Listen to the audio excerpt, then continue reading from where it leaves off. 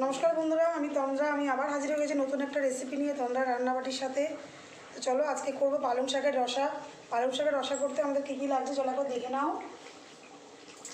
সব এখানে সবজি কেটে নিয়েছি। ফুলকপি আছে, বেগুন আছে, তারপরে শিম আছে, মূলো আছে, আলু, কাঁচা লঙ্কা, আর দেবো বড়ি। পালং শাকটা আমি আগে কেটে ভালো করে জল জড়িয়ে রেখেছিলাম। কী করে রেসিপিটা করি? চলো তোমাদের সাথে শেয়ার করি। প্রথমে আমি গ্যাসটাকে জ্বালিয়ে দিলাম। দিয়ে দেবো সর্ষের তেল।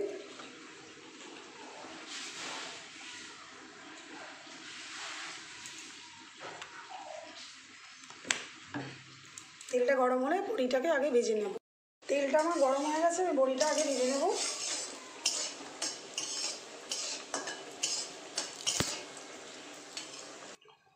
বড়িটা আমার ভাজা হয়ে গেছে, বড়িটা তুলে নিলাম।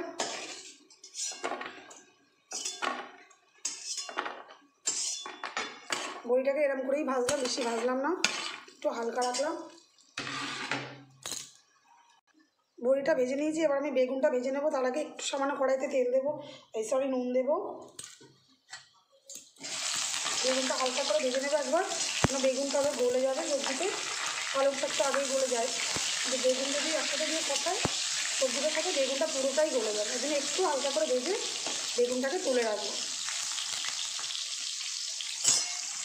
তো বেগুনটা আমার এরকমই ভাজবো, এর থেকে বেশি ভাজবো না। বেগুনটা দেখো ভাজা হয়ে গেছে। একটু হালকা করে ভেজে নিলাম।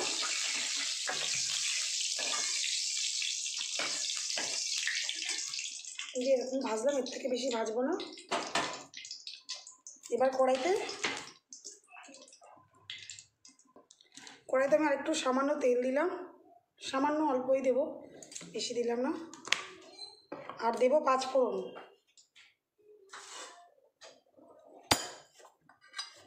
এই যে পাঁচ ফোড়ন দিলাম সামান্য।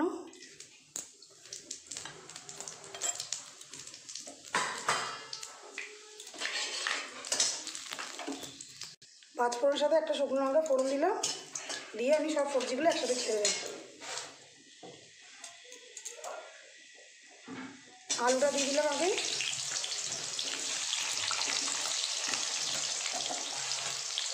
ফুলকপি, মূলোটাও দিয়ে দিলাম একসাথে, সবগুলোই দিয়ে দেবো। শিম সবই দিয়ে দেবো।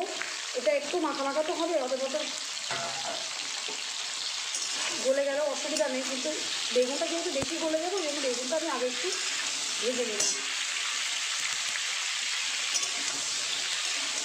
একটু সামান্য ভেজে নুন দেবো হলুদ দিয়ে তারপর আমি পালং শাকটা ছেড়ে দেবো।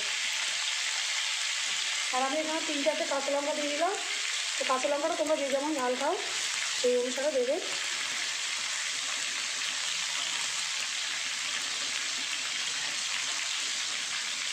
চারটে কাঁচা লঙ্কা ছেড়ে দিলাম। এর সাথে দিয়ে দিলাম পরিমাণ মতো নুন।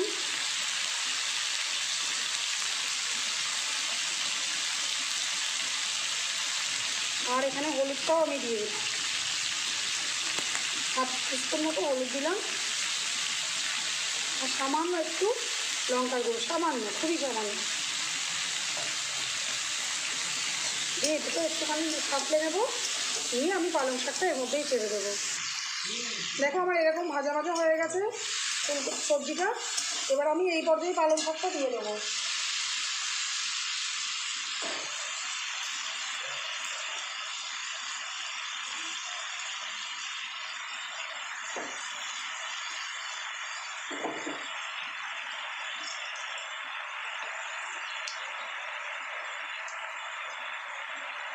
পালং শাকটা আমি দিয়ে দিলাম। দিয়ে সামান্য একটু নাড়বো। এরে আমি চাপা দিয়ে দেবো। এরকম অবস্থাতে পালং শাকটা আমি চাপা দিয়ে দিলাম। মিনিট পাঁচেক মতো চাপা দিয়ে রাখব। সবজিগুলো সেদ্ধ হয়ে যাবে। আর পালং শাকটা তো এমনি জাস্ট এমনি নাড়লেই গলে যায়। তো সবজিটার জন্য আমি সেই ঢাকাটা দিলাম।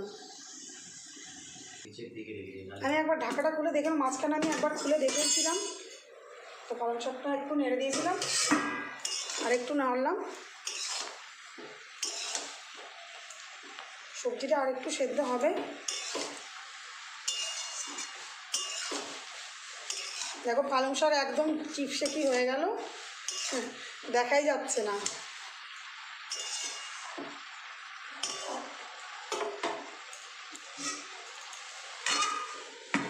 আর তোমরা কিন্তু অবশ্যই আমার রেসিপিগুলো করে করে খাবে। কেমন হলো আমাকে কমেন্ট বক্সে জানাবে।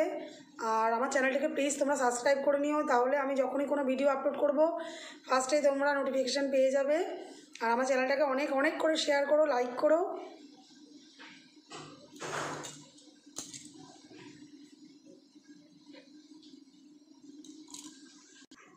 এবার আমি আরেকবার ঢাকনিটাকে খুলে দেবো। খুলে এবার এখনই আমি ইয়েটা, বেগুনটাও দিয়ে দেবো। বেগুনটা দেবো, মিষ্টিটাও দেবো, যে যেমন তোমরা মিষ্টি খাও, সেরকম দেবো, আর বড়িটাও আমি দিয়ে দিলাম। আর দু তিনটে বড়ি আমি রাখলাম, এটা লাস্টে একদম নামাবার সময় ভেঙে দেবো। মিষ্টিটাও দিয়ে দিলাম। আমি এখানে তিন চামচ মতো মিষ্টি দিলাম। তোমরা যেমন মিষ্টি খাও, সেই আন্দাজে দেবে। শাকে তো একটু মিষ্টি না হলে ভালো লাগে না। তো তোমরা যে যেমন মিষ্টি খাও, সেইভাবে আন্দাজে দেবে। দিয়ে এটাকে নেড়ে আমি আর একবার একটু ঢাকা দিয়ে দেবো।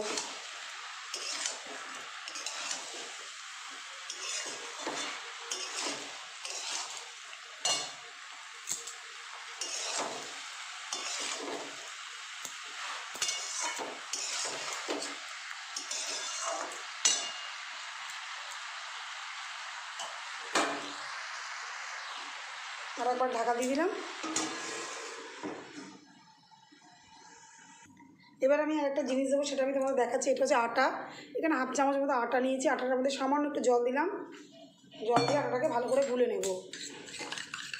নিয়ে আমি পালং শাকটার মতো দেবো। দেখো, আমি আটাটাকে গুলে নিয়েছি। এবার আমি ঢাকনিটা খুলে এই আটা গোলাটাই দিয়ে দেবো এর মধ্যে।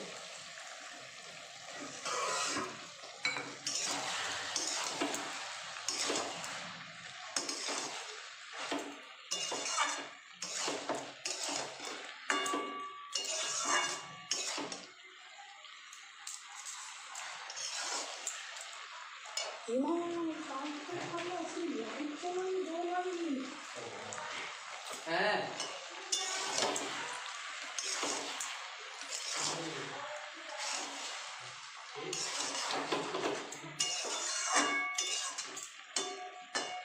এটা আমি আরেকটু ঢাকা দিয়ে দেবো, হয়ে এসছে।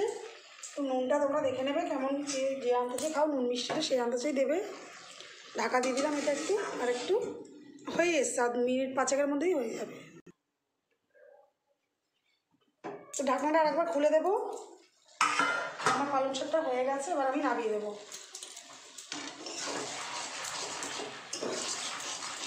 আমি আর একবার মাঝখানটা খুলে দেখে নিয়েছিলাম, তো এবারেই এরামই নামাবো।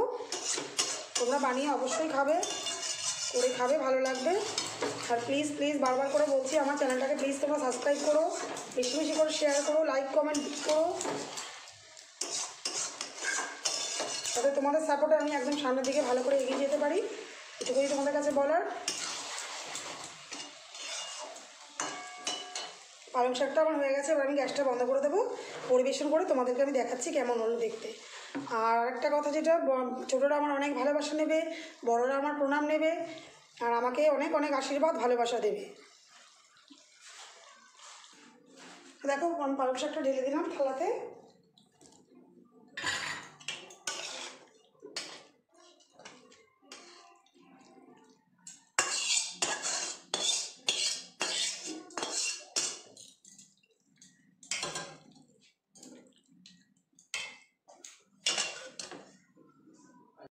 সরে যাব